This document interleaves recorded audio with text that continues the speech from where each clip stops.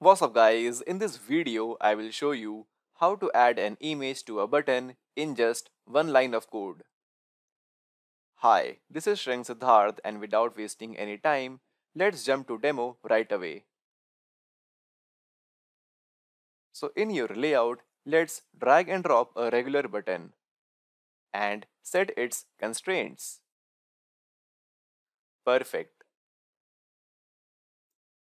Now to add an icon to your button, you just need to add one statement, such as add the style and use widget.materialComponents.button.icon.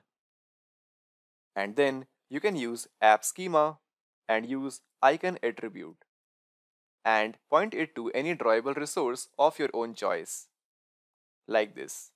So here I am using a predefined library icon.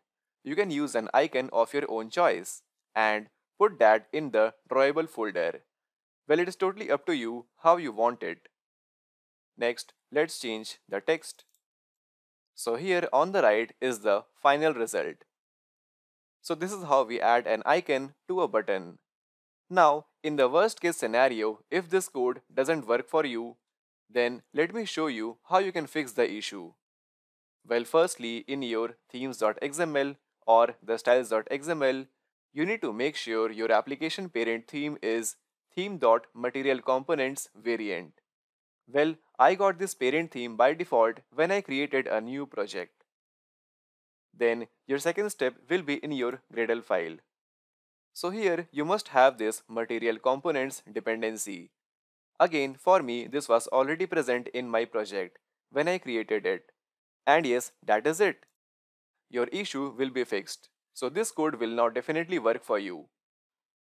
So yes, that's all for this video. And if you want to see more videos like this, do subscribe to my channel and do leave a comment below the video. Thanks for watching. This is Sriyank Siddharth signing off.